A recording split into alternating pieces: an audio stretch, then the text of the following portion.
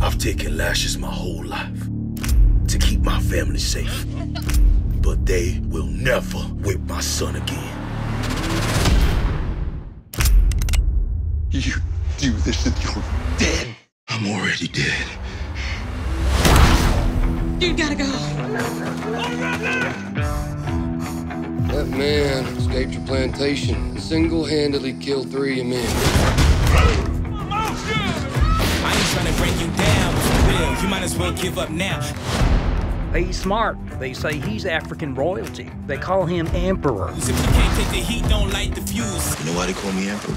Because my granddaddy was a king. In me, I trust, yeah. Say you killed a bunch of white folk. Came here ready to fight on this night. What you bring him here for? Ain't you got no manners? The longer he keeps it up, you got yourselves a rebellion. I need you to be the spark that lights the fuse.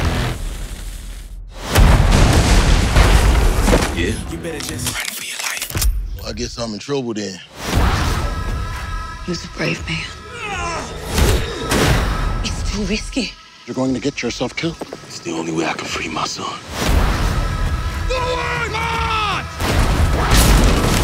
You guys to get out of here. You're not just a slave anymore. You're a symbol. You ever consider going the outlaw business? Boy, I got the whole South chasing me. I'm already an outlaw.